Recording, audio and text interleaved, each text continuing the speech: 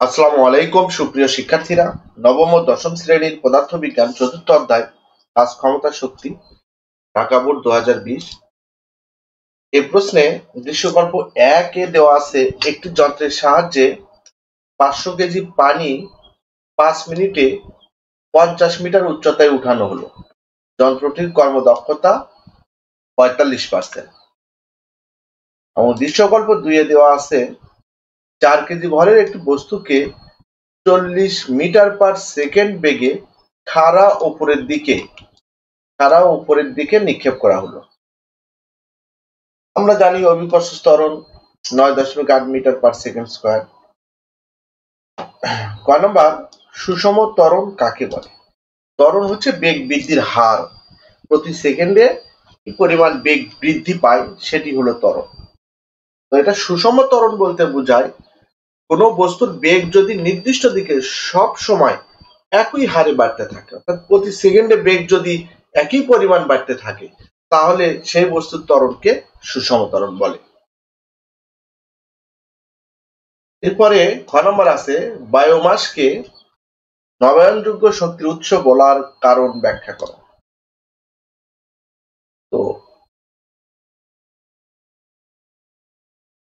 বায়োমাসকে নবায়নযোগ্য শক্তির উৎস বলা হয় কারণ পৃথিবীতে মানব সভ্যতা যতদিন থাকবে, ততদিন বায়োমাস স্বয়ংক্রিয়ভাবে অনবর্ত উৎপাদিত হতে থাকবে।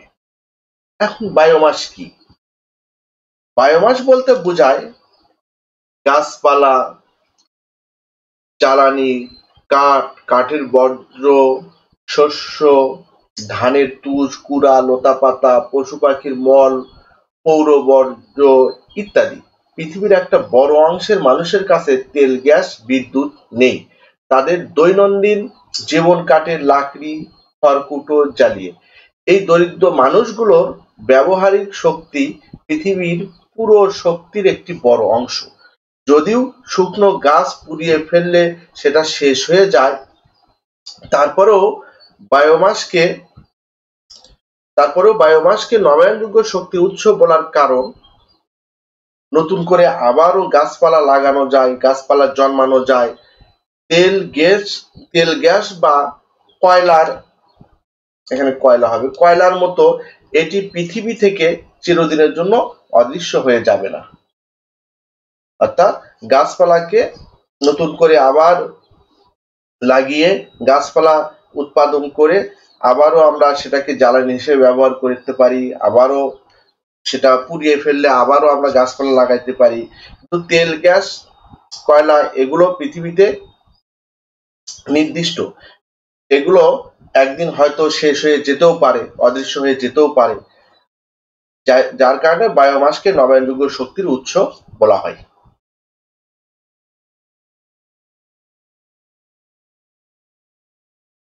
দৃশ্যকল্প দুই থেকে কত উচ্চতায় বস্তুটির বিভব শক্তির গতিশক্তির দ্বিগুণ হবে?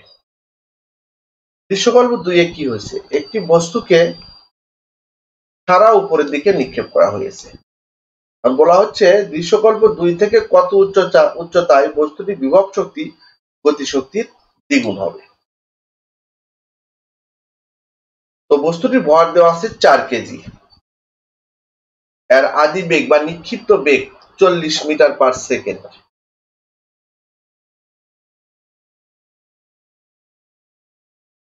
তো এখানে ভর এম চার কেজি আদিবেগ ইউ চল্লিশ মিটার পার সেকেন্ড অভিকর্ষ স্তরণ আমরা জানি নয় দশমিক আট মিটার পার সেকেন্ড স্কোয়ার এখন মনে করি ভূমি থেকে এক্স মিটার উচ্চতায় বস্তুটির বিভব শক্তি গতিশক্তির দ্বিগুণ হবে। অর্থাৎ বস্তুটি আমরা এখান থেকে যে নিক্ষেপ করলাম, এখান থেকে ধরে নিলাম এই এক্স মিটার উচ্চতায় গিয়ে উচ্চতায় বস্তুটির বিভব শক্তি গতিশক্তির দ্বিগুণ। অর্থাৎ আমরা যদি এটাকে যদি বি অবস্থান ধরি, বস্তুটি আরও উপরে গেছে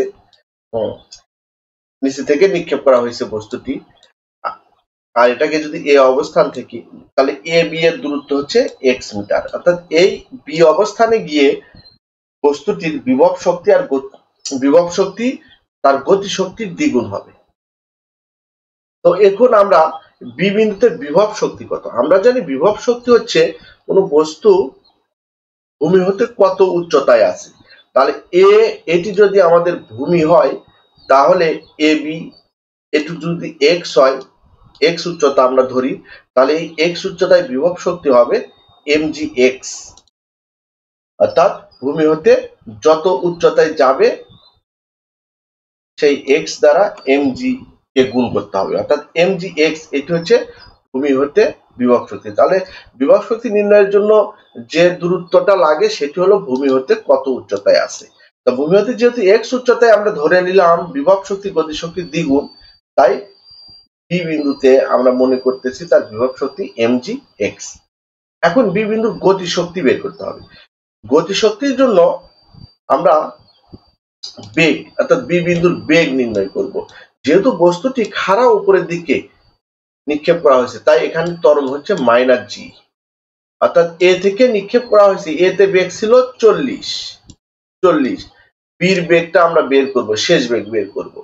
তো শেষ বেগ নির্ণয়ের সূত্র হচ্ছে V square equal U square plus two G X কিন্তু এখানে ভূমি হতে উপরের দিকে নিক্ষেপ করার কারণে এখানে সূত্রটি হবে মাইনাস টু জি এক্স এখন এক্স মিটার উচ্চতায় বেগ ভি হলে আবারও বলি, ভূমি হতে খাড়া উচ্চতায় আমরা যে বিন্দুতে তার বিভব শক্তি গতিশক্তির দ্বিগুণ ধরেছি, এই বিন্দুর বেগ বের করতে হবে শেষ বেগ। তো শেষ বেগের সূত্র হচ্ছে V square equal U square plus two G X কিন্তু এটি খাড়া উপরের দিকে নিক্ষেপ করার কারণে এখানকার ত্বরণ ঋণাত্মক।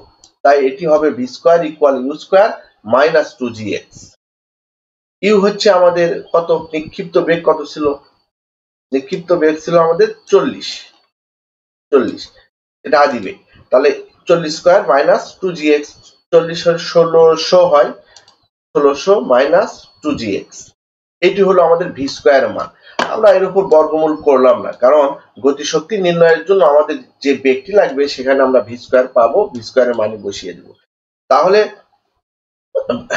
গতিশক্তি নির্ণয়ের জন্য আমরা যে বিন্দুতে গতিশক্তি নির্ণয় করব, সে বিন্দুর বেগ প্রয়োজন পড়ে। তো গতিশক্তির সূত্র হচ্ছে হাফ এম ভি স্কোয়ার এখন এই ভি স্কোয়ারটা আমরা এখানে বসিয়ে দিব।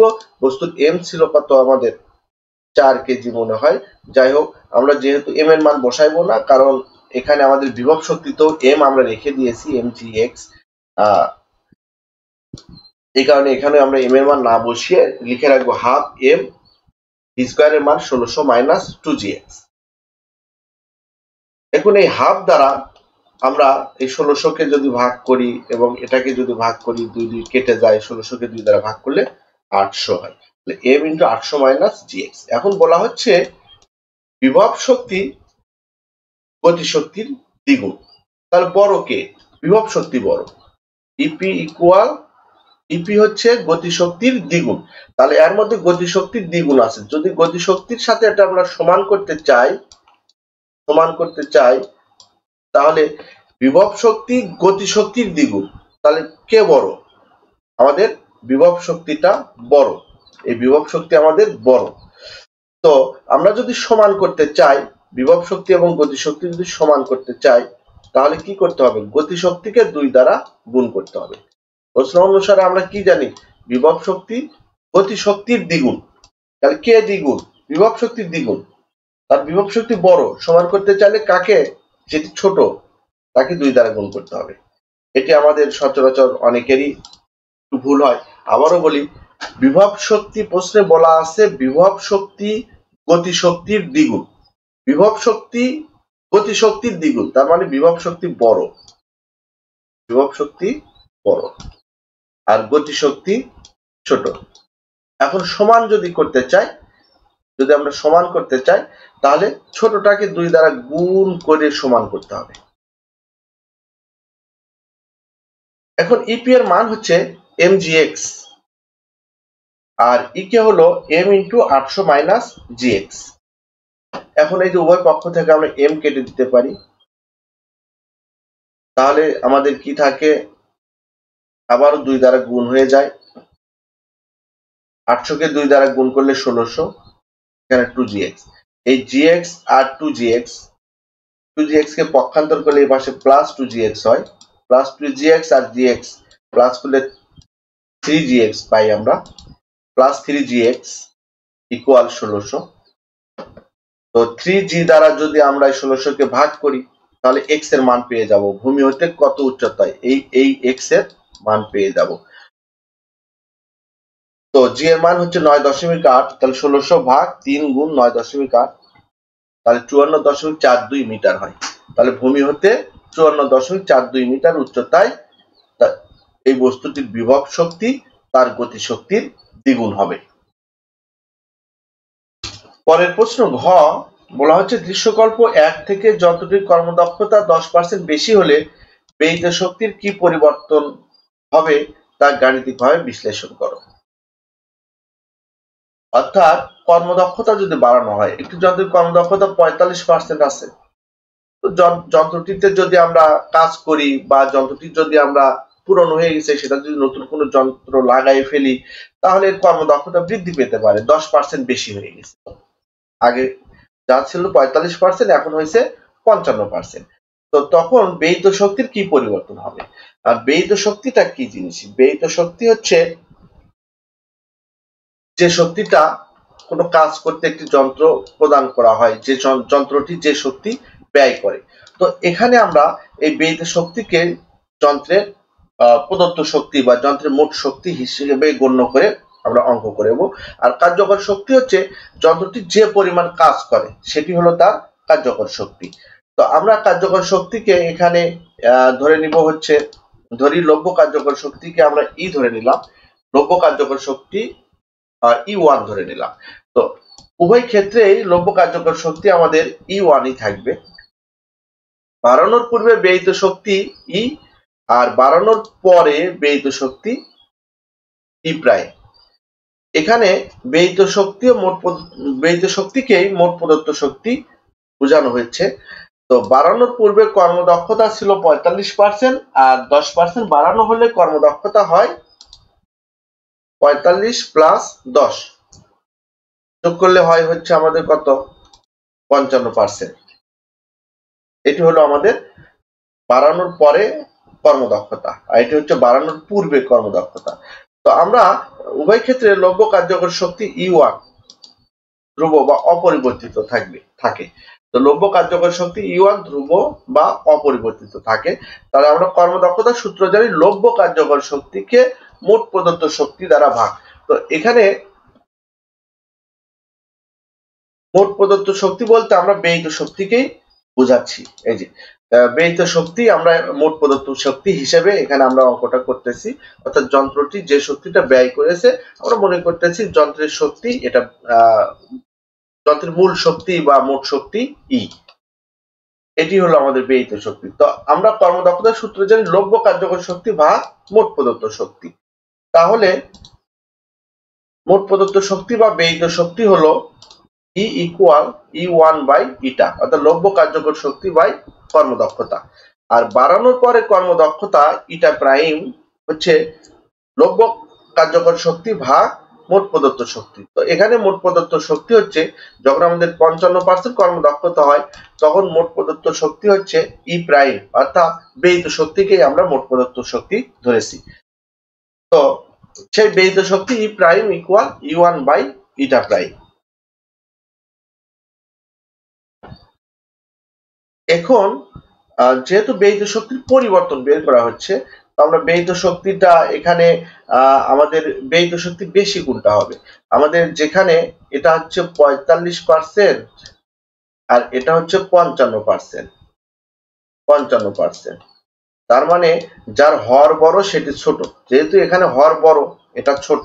অর্থাৎ ই হচ্ছে এখানে বড় আর ই প্রাইম হলো ছোট। তাহলে ব্যয়িত শক্তি পরিবর্তন হবে বড় থেকে ছোট মাইনাস। ব্যয়িত শক্তির পরিবর্তন ই মাইনাস ই প্রাইম। ই হলো আমাদের ই ওয়ান বাই ইটা। ইটা হচ্ছে এখানে আমাদের কর্মদক্ষতা। E one by eta. এখান থেকে ই ওয়ান কমন নিলে আমরা পাই one by eta minus one by eta prime. এখানে ই হচ্ছে আমাদের ই ওয়ান হচ্ছে লভ্য কার্যকর শক্তি। লভ্য কার্যকর শক্তি কত ছিল আমাদের? আমাদের ছিল হচ্ছে এমজি এইচ বা এমজি এক্স ভূমি হতে যে উচ্চতা ধরবো এখানে বস্তুর ভর ছিল এম তারপরে এইচ আর জি তো আমরা জানি নয় দশমিক আট। তাহলে এমজি এইচ বা এমজি এক্স আমরা যেটাই মনে করি, এটাকে যদি, উচ্চতাকে যদি এক্স মনে করি, তাহলে এমজি এক্স লিখব। এবং কথা হচ্ছে আমাদের, উভয় ক্ষেত্রেই আমাদের এই একই লভ্য কার্যকর শক্তি হবে। তো সেটা তো আমরা ধরেইছি যে উভয় ক্ষেত্রে লভ্য কার্যকর শক্তি ই ওয়ান তাহলে ই ওয়ান ইকুয়াল আমাদের হবে হচ্ছে MG H MG H one by eta minus one by eta prime M হচ্ছে পাঁচশো কেজি জি হচ্ছে নয় দশমিক আট এইচ হচ্ছে পঞ্চাশ মিটার। আর এটা ছিল হচ্ছে পঁয়তাল্লিশ পার্সেন্ট বাড়ানোর পূর্বে কর্মদক্ষতা আর বাড়ানোর পরের কর্মদক্ষতা পঞ্চান্ন পার্সেন্ট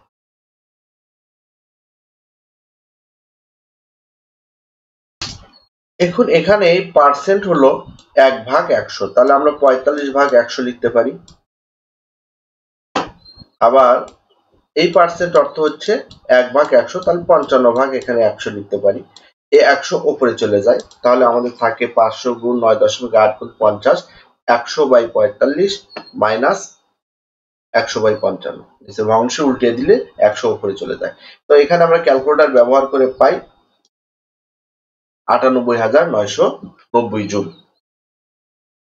এটি হলো আমাদের ব্যয়িত শক্তির পরিবর্তন। সুতরাং দৃশ্যকল্প এক এর যন্ত্রটির কর্মদক্ষতা দশ পার্সেন্ট বেশি হলে ব্যয়িত শক্তির আটানব্বই হাজার নয়শো নব্বই জুল পরিমাণ হ্রাস পাবে। যেহেতু এখানে আমাদের হ্রাস পাবে কেন? আমাদের এখানে কি বড়? ই ওয়ান বড় না ই প্রাইম বড়? অর্থাৎ বাড়ানোর পূর্বে কর্মদক্ষতার সূত্র আমরা এটা বাড়ানোর পূর্বে এখানে এটা ছিল আমাদের পঁয়তাল্লিশ পার্সেন্ট আর এটা ছিল আমাদের পঞ্চান্ন পার্সেন্ট সেই হিসেবে আমাদের বড় কোনটা? ব্যয়িত শক্তি ই হচ্ছে বাড়ানোর পূর্বে এটা বড়। আর বাড়ানোর পরে পূর্বে আমাদের ব্যয়িত শক্তি বেশি ছিল, আর বর্তমানে এসে কমে গেছে। যে এটা যেহেতু আমাদের কম, যন্ত্রটির দশ পার্সেন্ট বেশি হলে ব্যয়িত শক্তি এত পরিমাণ হ্রাস পাবে। অর্থাৎ আটানব্বই হাজার নয়শো নব্বই জুল পরিমাণ শক্তি সাশ্রয় ঘটবে। তাই বলা যায় বেশি কর্মদক্ষতা সম্পন্ন যন্ত্র ব্যবহার করা সুবিধাজনক।